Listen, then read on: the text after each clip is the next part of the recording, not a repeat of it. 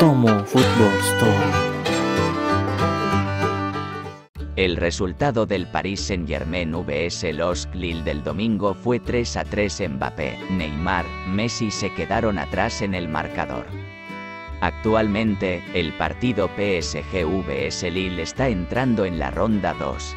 Mbappé y Neymar han marcado goles, respectivamente, en los minutos 11 y 17 de la ronda 1. Consulte los resultados de la liga francesa en el enlace Live Score. El 2 a 1 para la victoria del PSG no duró, el Lille empató y el marcador se puso 2 a 2 en la jornada 2 gracias al gol de David de penalti en el minuto 58.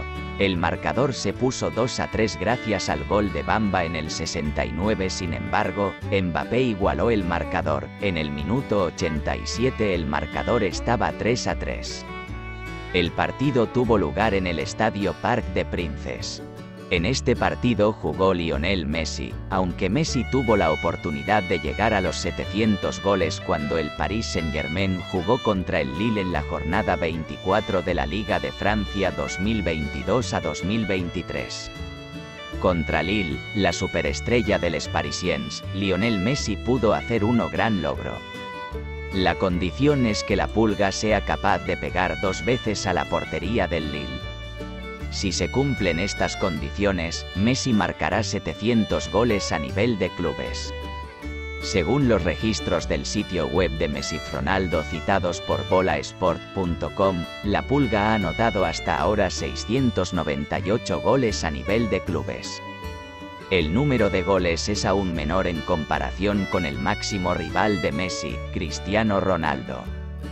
CR7 ha marcado hasta ahora 706 goles a nivel de clubes a lo largo de su carrera.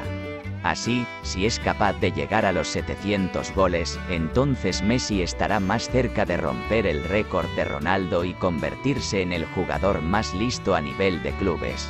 Por otro lado, las posibilidades de Messi de irrumpir en la portería del Lille están bastante abiertas. Esto no se puede desligar del historial de la pulga cuando se enfrentó al Stogues en la liga francesa.